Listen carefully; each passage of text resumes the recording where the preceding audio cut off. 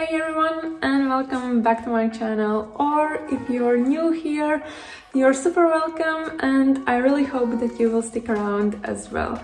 But anyway, in today's video I will be doing another crochet tutorial and today I will be teaching you how to do this super cute strawberry crochet stitch. I'm very excited about this tutorial and I really hope that you will enjoy it as well because this pattern is super super cute. It also has this kind of like 3D effect and it's also been one of the latest trends that I have seen so far so I'm very excited to actually teach you how to do it. And this pattern is inspired by Nastasia here on YouTube but in this video I tried to make it as beginner friendly as possible so I really hope that it will be helpful for everyone no matter what level in crochet you are at the moment and as well I have given some extra extra tips at the very end in how you can customize it and do all sorts of different strawberry ways or sizes and so on. So I really hope that you will enjoy. But now let's jump into it. So here are all the materials that we are going to use and here I have two colors of yarn and I'm using cotton which is 4 ply and here I also have a crochet hook which is 3.5 millimeters. But of course you're more than welcome to use different size of yarn or different size of hook if you wish. And here I also have scissors of course. And this is what we are going to try to replicate in today's video and I'm going to teach you how you can do that. First I will be starting by using the red yarn and the first thing that we basically have to do is to create a slip knot. And the way how I normally do it is by tying it around the fingers like that, then grabbing it to create a loop. And this is basically the slip knot. Then I just insert the hook in the loop and tighten it to kind of create a knot on the hook. So once that's done, we are going to do some chains and the amount of chains basically depends on how wide you want your uh, piece to be but the basically you just have to do multiples of four. So whatever you can mul multiply by four then just go for it. So in this case i will be going with uh, 24 so to do a chain you basically have to yarn over and pull through the loop on your hook. Yarn over pull through the loop, yarn over, pull through the loop. And just continue it like that until you have reached the desired amount. And also for this pattern, it's quite useful to keep the loops a little bit looser, just to make sure that it's not too tight at the bottom once we will start working on the pattern itself. But just continue creating multiples of four for however wide you wish it to be and just keep in mind to make them a little bit looser because that will help you a lot uh, later on just to make sure that it's not too tight. So here I have done 24 chains in total and now we can basically start working on the first row. So for the first row we will be doing single crochets and to do that we have to skip uh, one chain that we did before. So we will be starting from the second chain here and to do a single crochet you basically have to go through the loop or the chain with your hook grab some yarn and pull it through to have two loops on the hook then yarn over and pull through both of the loops. And then once that's done you can proceed with the next one. So go through the chain grab some yarn pull it through to have two loops yarn over and pull through both of them and just repeat doing the same until you have completed all the chains and went all the way through. So the first row is literally only single crochets all the way through. And I will meet you back again once I have completed uh, all of this row. So this is how it looks so far. And here I have completed the whole first row. So now we can proceed to the second row and before we do that we have to uh, chain here uh, one and then we can turn our work and now we can officially proceed with the second row.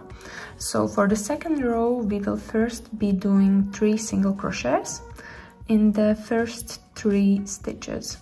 So one here another one in the following and then third one in the third stitch like this. Once that's done uh, we will be doing five double crochets all together in the following stitch here. So to do a double crochet yarn over and go through the stitch there pull some yarn uh, and pull it through. So you have three loops then yarn over again and pull through first two yarn over again and pull through the second two. And that's our first double crochet and then just do four more. So in total you have five. So yarn over go through the stitch uh, grab some yarn and pull it through to have three loops.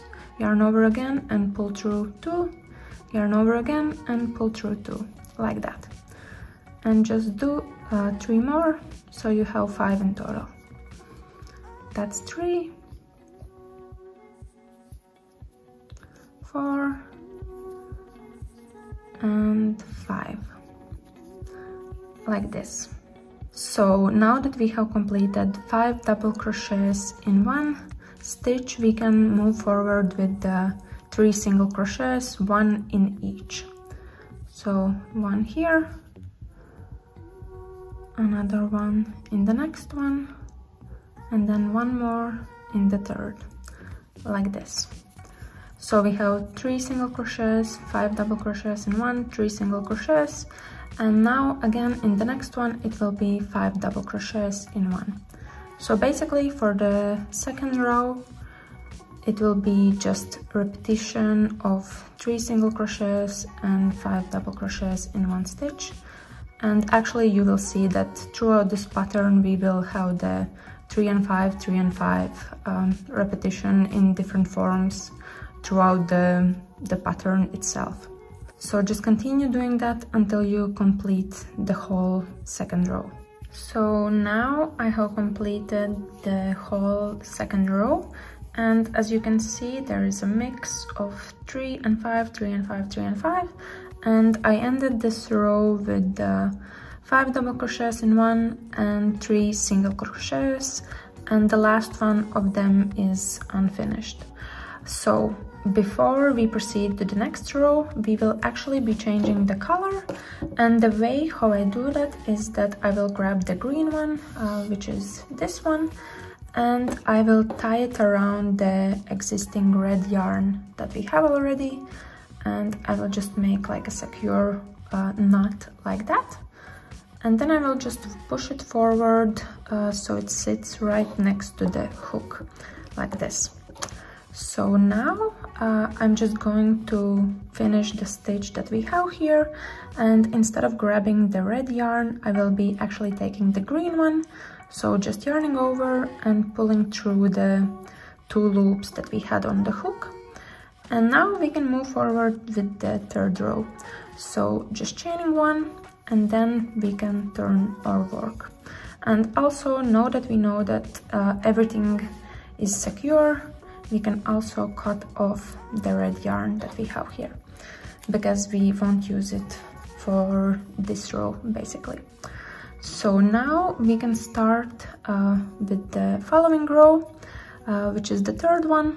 So for this uh, at first we will be doing three single crochets. So one two and and as you can see now we have approached uh, five double crochets together in one here.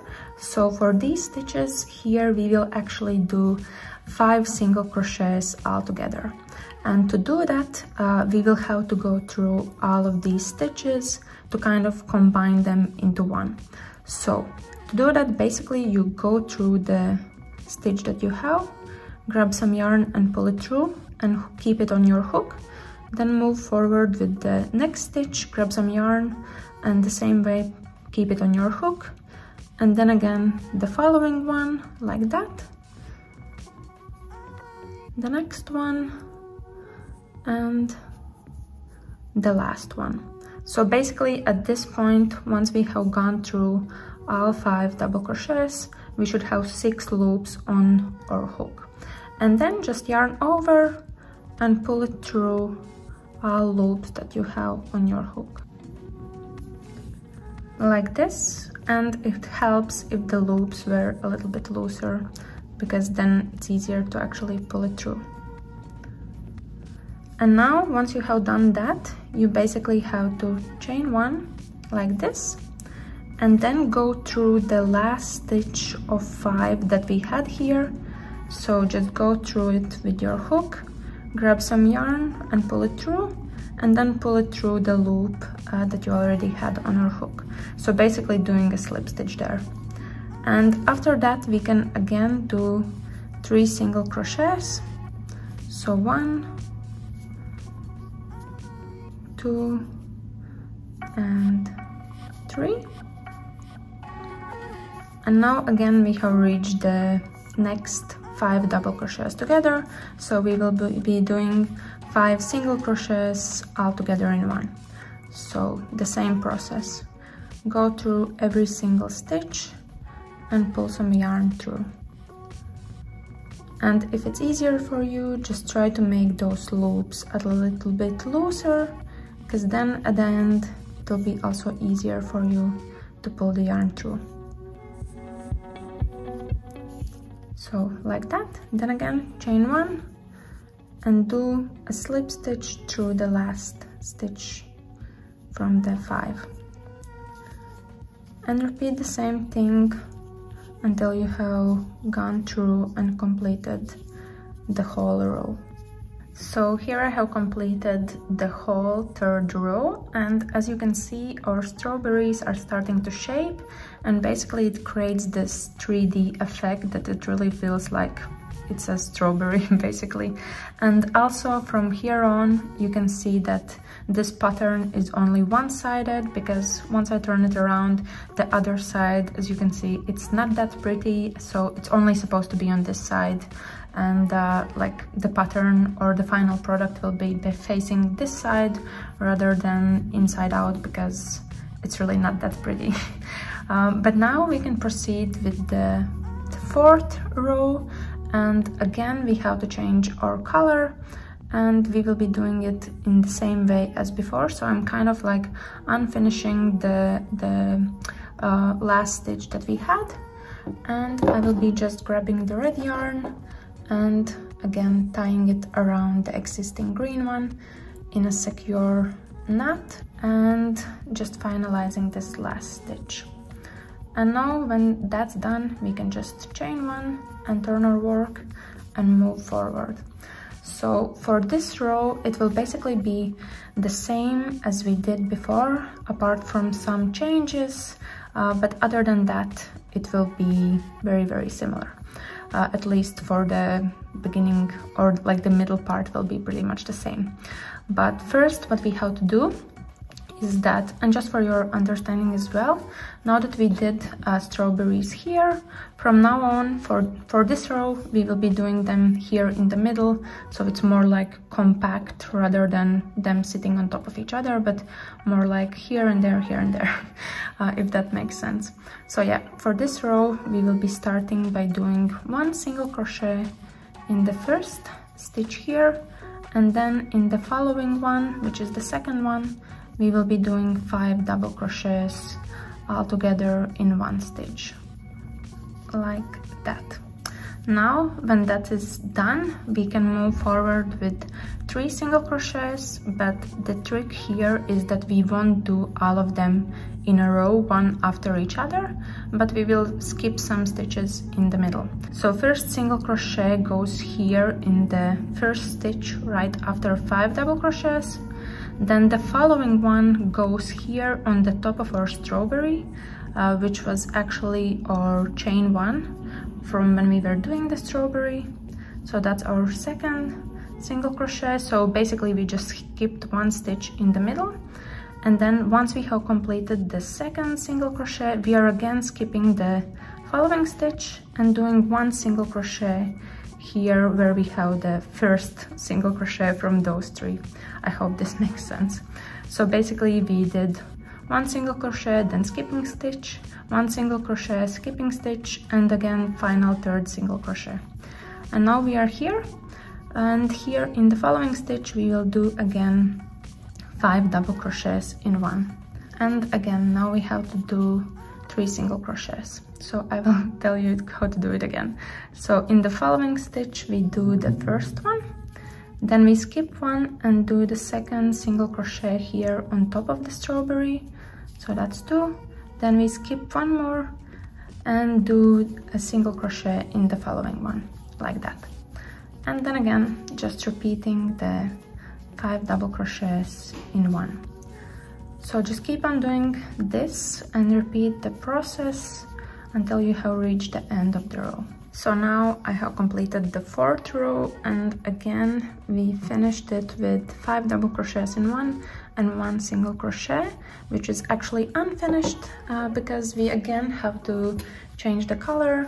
So again the same process as before and we can then finish the stitch so just using the green yarn to finish it pulling it through uh, to finalize the stitch and then we can chain one and turn our work. So now uh, we will be doing pretty much the same thing as we did before. It's just that uh, first we have to do one single crochet in the stitch that we have here. So that's one.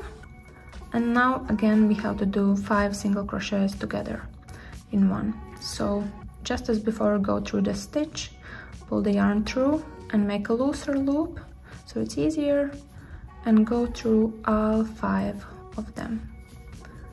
So in total at the end you have to have six loops on your hook then yarn over and pull through all six of them like that chain one and do a slip stitch on your last. And then the same thing three single crochets.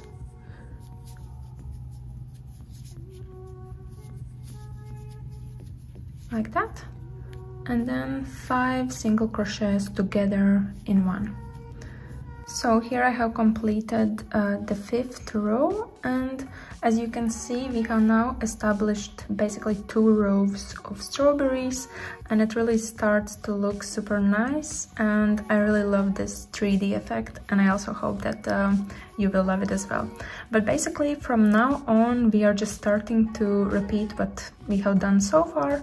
So for the following row we just have to start to repeat from uh, row second, third, fourth and five and it goes all the way like that.